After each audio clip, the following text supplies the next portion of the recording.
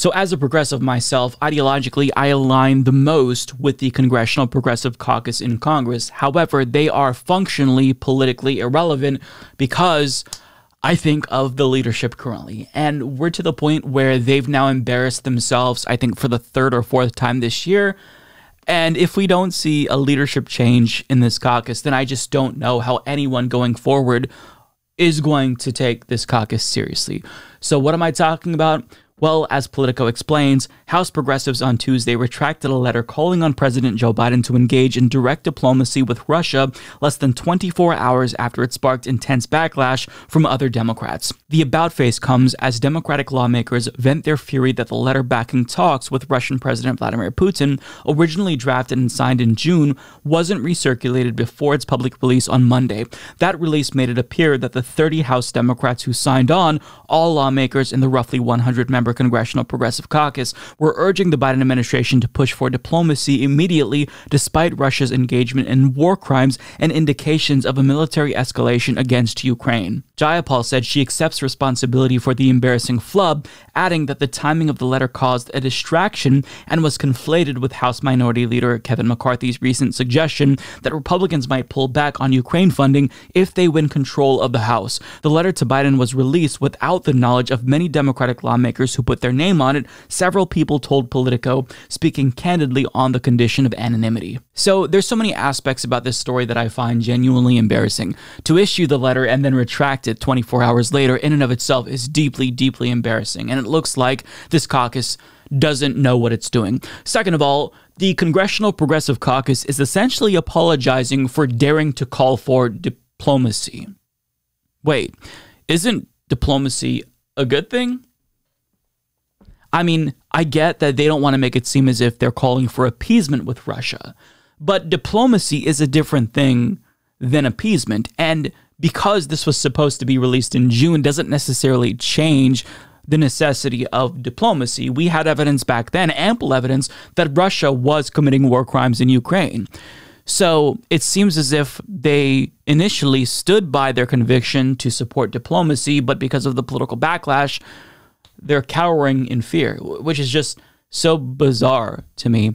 Diplomacy, again, I can't believe uh, believe that I have to say this, is a good thing. I did a video talking about how I found it positive that the French president Emmanuel Macron was speaking to Vladimir Putin. He was giving us updates and insight about what's happening with the Kremlin. I think that that was a good thing. Even if diplomacy doesn't work, even if diplomatic talks fail, you can still gain some insight into his thinking, Vladimir Putin's thinking, that is. That doesn't mean, again, that you appease him and you give him what he wants, but just trying to engage in a solution or engage in negotiations is a positive thing, especially when we're talking about two nuclear armed powers, because peace is what we should be looking for above all. Again, that doesn't mean appeasement. These are not the same things. Diplomacy does not mean appeasement. Um, you could still condemn Russian aggression and support negotiations, diplomatically speaking. Um, so that in and of itself is embarrassing. But what's also deeply embarrassing is that Pramila Jayapal, despite her taking responsibility, is throwing staffers under the bus here. So if you look at the official statement released by the CPC chair, which is Pramila Jayapal, she takes responsibility but she still claims that the letter was released by staff without vetting, and she further goes on to explain that this letter created the appearance that Democrats are somehow aligned with Republicans on this issue. Okay, interesting. Now, just because she doesn't want it to make it seem as if she's aligned with Republicans, that's essentially why she's withdrawing this letter, seemingly. That's why they're withdrawing this letter, seemingly. But even if she's saying that she takes responsibility, you don't take full responsibility if you're still saying that this was released by staff without vetting, because that's throwing your staffers under the bus. Now, after this letter was released, Ro Khanna, a member of the Congressional Progressive Caucus, seemingly took to Twitter to defend the staffer in question, saying, Let me just say something about Mike Darner and CPC staff. They are extraordinary. They have helped shape the biggest goals for progressives and have been very effective in our wins. They are committed also to human rights and diplomacy. Progressives owe them a debt of gratitude. So he is seemingly defending the staffers who Jayapal is throwing under the bus. Now, another aspect about this story that's so bizarre is that this letter was sent around in June, but it's only being released in November. I mean, was there no urgency? With you all to, to release this. It doesn't make any sense. Now, journalist Igor Bobic asked the question online is it normal for letters to not be released until four months after members sign them?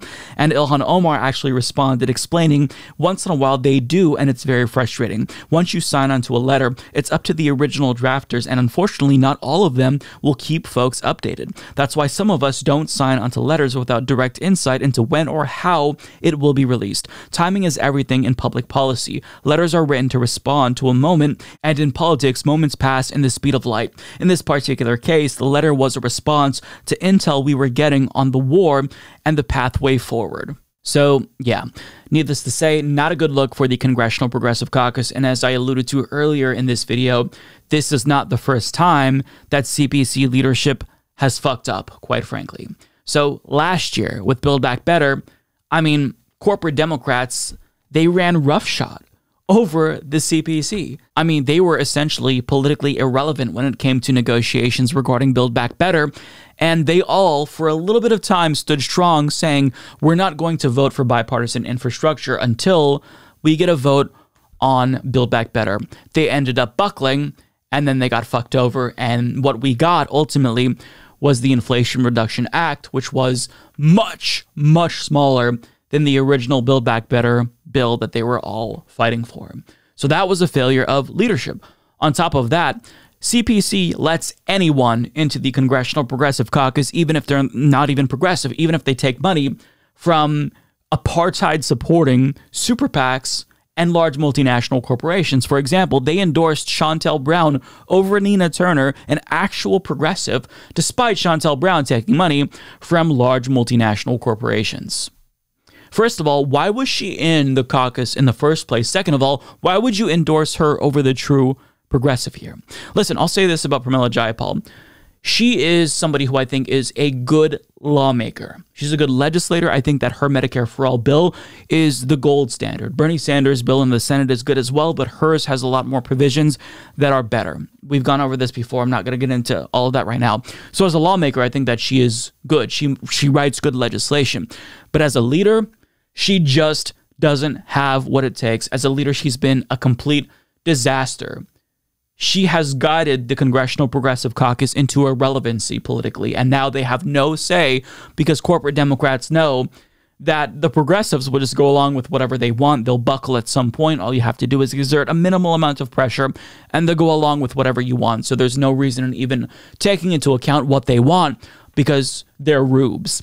This is the result of leadership. So Jayapal must absolutely step down, and we need somebody who should replace her. I think that person should be Ilhan Omar. And what they need to do immediately after Ilhan Omar takes power, clean house. Don't allow people like Shontel Brown and other corrupt corporate Democrats into the progressive congressional caucus because that waters down the progressivism there. It should be limited to people who do not take corporate money.